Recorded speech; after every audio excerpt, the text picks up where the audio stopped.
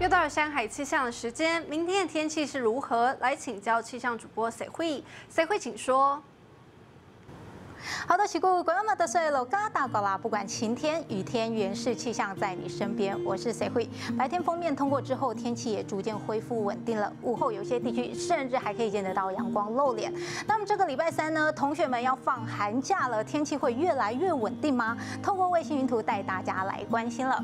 从卫星云图上你可以看到，今天因为这道封面云系通过后，再加上明天东北风再减弱，所以北部东半部呢天气都会转为稳定，也是这个礼拜。最稳定的一天，为什么会这么说呢？因为从礼拜三开始，东北风又会再度增强，所以水汽又在增加的关系之下呢，北部东半部从后天到周休假期呢，都会转为有短暂雨的天气。特别是在宜兰地区呢，要注意还可能会有大雨发生。所以学校放寒假后的这几天，同学们要在雨天度过了。如果有安排出游的家长，也最好选在室内活动会比较适合。那么在中南部地区呢，这个礼拜都是稳定的天气。不过要注意的就是空气品质状况，原因是受到扩散条件不佳的关系，空气污染呢有可能会达到红色警示，甚至是橘色警示，因此要提醒中南部的观众朋友外出最好戴个口罩来隔绝户外的脏空气了。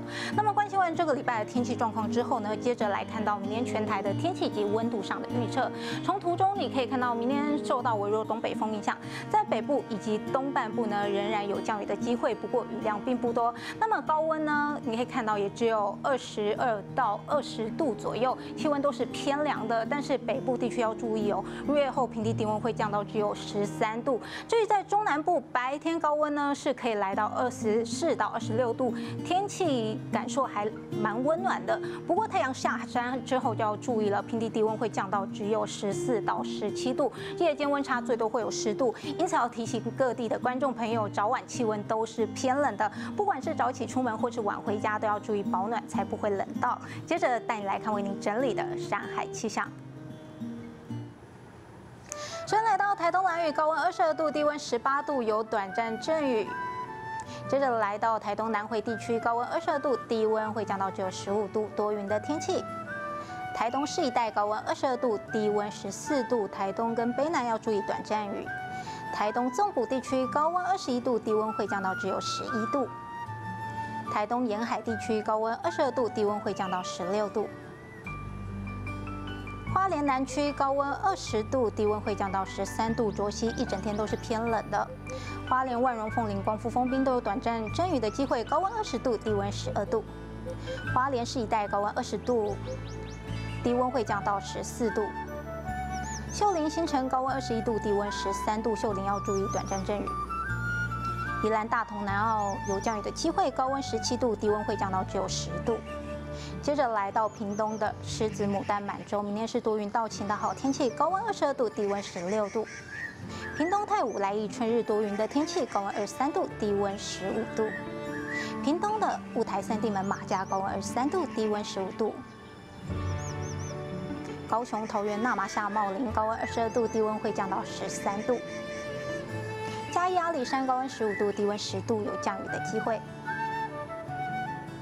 南投仁爱浴池水里新义高温二十度，低温会降到只有十度。台中和平高温十八度，低温只有十度。苗栗南庄市坦泰安高温二十度，低温会降到只有十一度。新竹关西尖十五峰高温二十一度，低温会降到只有八度。尖十五峰有短阵雨的机会。桃园复兴新北乌来高温十九度，低温会降到只有十度。